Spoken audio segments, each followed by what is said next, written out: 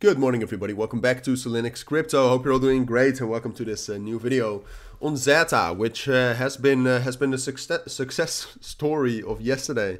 Um, it's been very bullish, all right. So I wanted to give you my thoughts on it, um, but I do want to preface this video, and I do want to start off with saying that I'm analyzing on the five-minute time frame, a crypto that looks pretty wicked, all right, and it's it makes wicks everywhere um, which was unintended, that pun. But still, um, so so is there any value in the technical analysis part of this video? It's probably limited, all right? So just so you know, because I I can already hear you if, if you're if you're a trader or a technical analyst, like I know uh, this is not a this is not a great way to analyze, but there's still things we can say. I mean, it is respecting technicals to a certain extent like the 200 EMA, and you can also just see that that the EMAs here and there are respected, and it is respecting levels.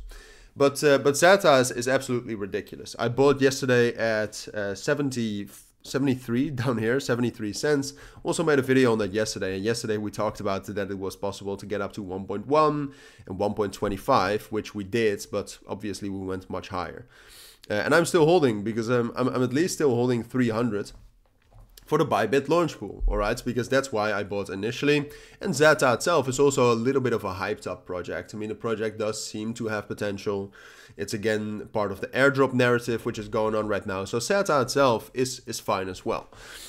Uh, but now the question is, what's next? All right, Zeta has rallied a ton. I mean, from from the bottom right here at uh, at 65 cents, we did like yeah, we did 240%, which is which is ridiculous. And if you look at these these wicks, I mean, it's also it's also difficult to analyze that uh, because it does seem like there's some whales dabbling in the price, and that's confirmed if you look at the volume. Like there's good volume coming from Coinbase and Bybit and KuCoin, but most of it is coming from OKX. And I'll tell you what that means. That that usually means that there's a lot of Asian or sometimes even Chinese volume, and uh, Chinese volume is is hard to predict. So that's difficult. I would say that it looks more bearish right now. I would say that we have rallied a lot already. So I'm actually leaning to be a bit bearish on Zeta. Now I do want to I do want to look at some uh, so, some other numbers here. Binance actually launched it already. Um, wow, they did that pretty quickly. But no, don't they have the uh, the, the Bybit? Uh, no, they don't. Maybe this provides some value. Yeah, I mean you, you can see that right now at the current price that the the open interest is is dropping down a little bit. Which the only way we can actually continue going up is if the open interest keeps going up as well. So on the 30 minute time frame, it looks like this. Um, if it actually loads, come on. Yeah, so if the open interest right here, which I'm not sure if you can you can track that, it doesn't matter that much. Um, you can go to CoinGlass and then CoinGlass slash TV and you can track it for free.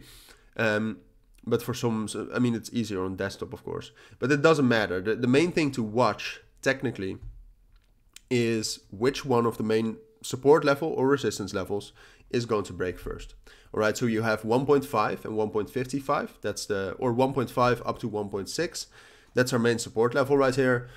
Um, and then you have the resistance level right here at 1.9 one of those levels is going to break first. And what is key is that you should just watch which one is going to break first.